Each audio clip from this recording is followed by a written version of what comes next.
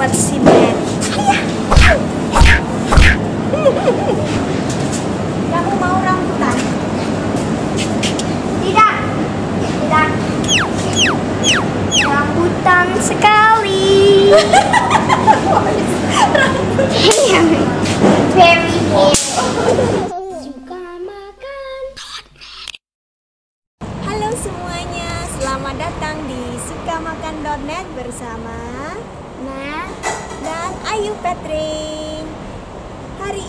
saya mau belanja di supermarket Asia paling gede di Budapest. Ini di sini namanya Duna Panda Supermarket. Mungkin nggak kelihatan namanya nanti kita liatin sedikit gitu ya. Saya mau ya kamu mau makan? mau. Because saya mau minum. Oke, Matt mau minum, saya mau makan. Kita belanja barang-barang kebutuhan saya, bahan-bahan makanan Asia di sini ya. Sebenarnya saya udah pernah bikin video di sini sama teman-teman saya, ibu-ibu Asia. Teman-teman yang mau nonton boleh lihat ke video saya yang udah lama. Tapi sekarang saya mau belanja sendiri ditemenin Matt sama Ayah. Oke, kepoin kita yuk. Oke. Supermarket Duna Panda terletak di Monori Center di Budapest, Hongaria. Daerah ini merupakan pecinan di kota Budapest ya teman-teman. Jadi semua toko, termasuk penjualnya dan semua tulisan tertulis dalam bahasa Cina. Kita pakai bahasa Tarsan aja ya kalau ke sini. Kebanyakan barang-barangnya berasal dari Cina. Ini ada tahu dan ini ada semuk tofu ya, tahu asap. Oh bukan, ternyata ini darah. Jadi ini darah bebek yang nggak tahu diapain direbus gitu kali ya. Terus nanti digoreng atau dimasak lagi nggak tahu. Ini makanan khas Cina lah ya kita nggak makan. Ini tahu biasa. Jadi ini yang biasa kita makan di Indonesia juga.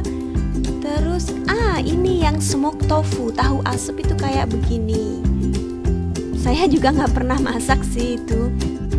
Ini harganya sekitar 35.000 per bungkus. Ini satu buah ya. Cabai hijau nggak tahu harganya berapa. Saya asal ambil aja. Nggak mungkin satu juta kan segini. Lihat nih guys. Oyong. Oyongnya 50.000 apalagi ya? Terong 40 ribu rupiah. Pare ada pare. 25 ribu rupiah sayang saya nggak suka pare. Murah nih 10 ribu rupiah. Toge lumayan buat bikin tahu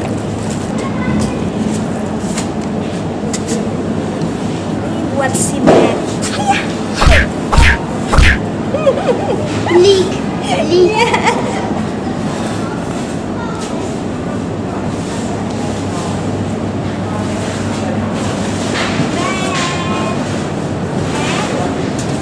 Kamu mau rambutan? Tidak. Tidak. Rambutan sekali. Very Di sini banyak juga buah-buahan. Buah melonnya segini. Kalau di sini biasanya semua serba gede, orangnya gede.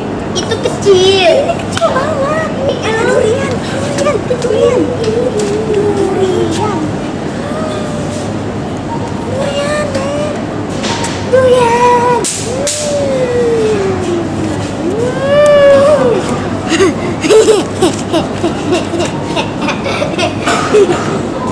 Tapi kalau durian biasanya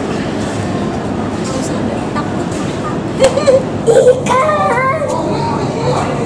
Ikan gautum banget. Lobsternya masih hidup.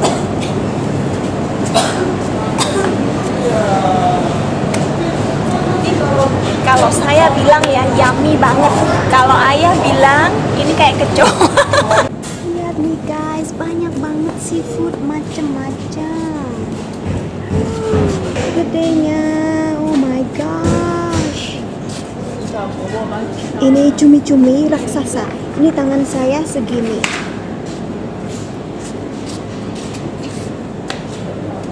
Gede banget. Uh, lobster. Semua masih segar di sini ya guys. Jarang banget di Hongaria karena di sini nggak ada laut. Uh, lihat tuh ikan sotongnya segitu gede-gede. Hmm. Para pecinta seafood kalau mau belanja seafood di Hongaria yang paling murah itu tempatnya ya di sini ini. Baik yang seger maupun yang beku semua ada. Memang banyak toko-toko Asia yang menjual makanan seafood beku, tapi toko itu kebanyakan kecil-kecil. Jadi kalau mau yang gede semua serba ada, pasti harus ke sini. Di sini banyak banget makanan beku uh, dari bahan dasar ikan dan seafood.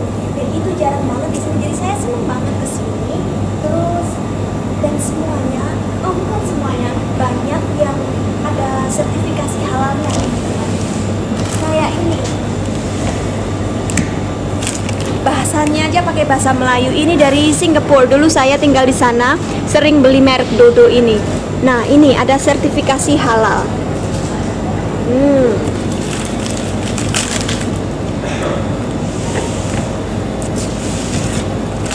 Ini fish cake, fish cake yang bentuknya rectangle itu apa persegi kayak gini ini bisa dijadikan pengganti pempek. Jadi mirip banget sama pempek. Kalau saya mau pempek tinggal beli ini bikin sendiri sausnya udah jadi. Lagi-lagi ada sertifikasi halalnya made in Singapore. Semangkanya mau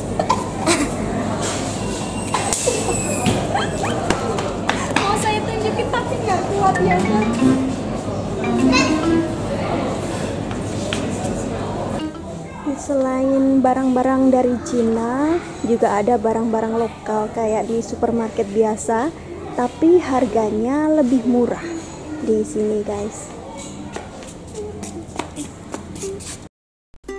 Ini ada durian beku, harganya 600.000 per kilogram. Pengen nangis.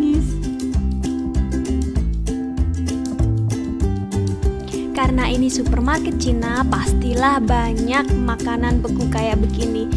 Siomai, xiaomai, pangsit, dumpling, wonton, dan lain sebagainya.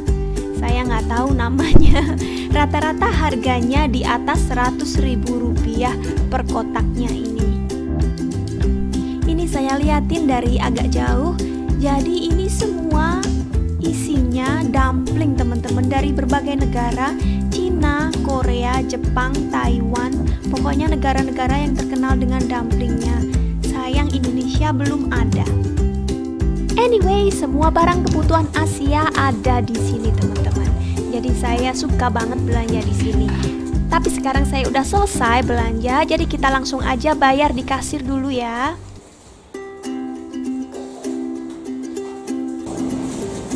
Oke, kita udah selesai bayar dan sekarang kita mau pulang. Video kita hari ini singkat banget teman-teman. Maaf ya, semoga kalian tetap suka. Jangan lupa klik like, subscribe dan komen. Sampai ketemu di video berikutnya. Bye bye.